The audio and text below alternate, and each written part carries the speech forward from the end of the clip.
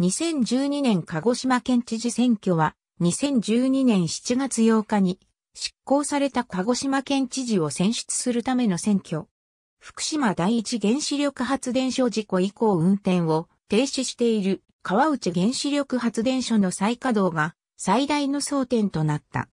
現職の伊藤雄一郎の人気満了に伴う知事選挙。立候補を表明したのは現職で3期目を目指す伊藤と新人で実業家の向原幸隆の一騎打ちとなった。争点は川内原発の再稼働。各政党の対応は当時の政権与党の民主党と連立を組む国民新党、自民党、公明党の各野党がそれぞれ伊藤の推薦、支持を表明。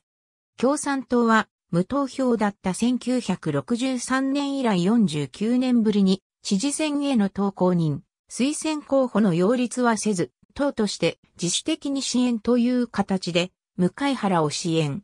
社民党は前回の知事選に続き自主投票とした。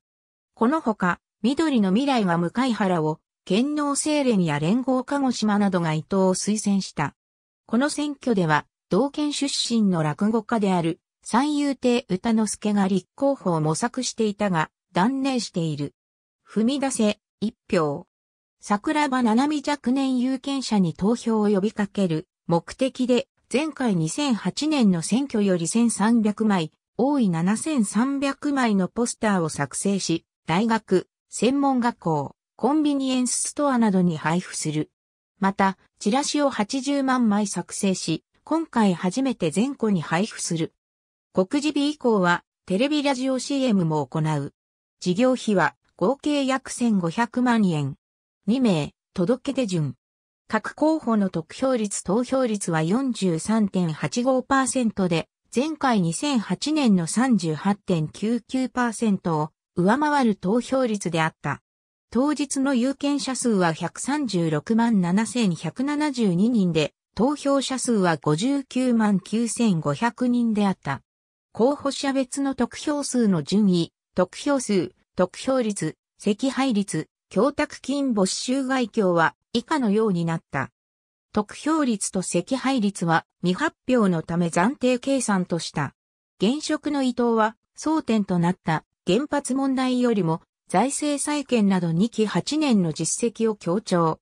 民主党や自民党のほか、連合や農政連など県内各団体からも幅広い支援を受け、組織戦を展開。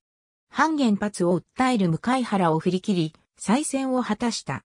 向原は、反原発を前面に打ち出し、川内原発即時廃炉を主張し、共産党や反原発の理念に共鳴した著名人の支援も受けるなど、都市部で巻き返しを図ったが、及ばなかった。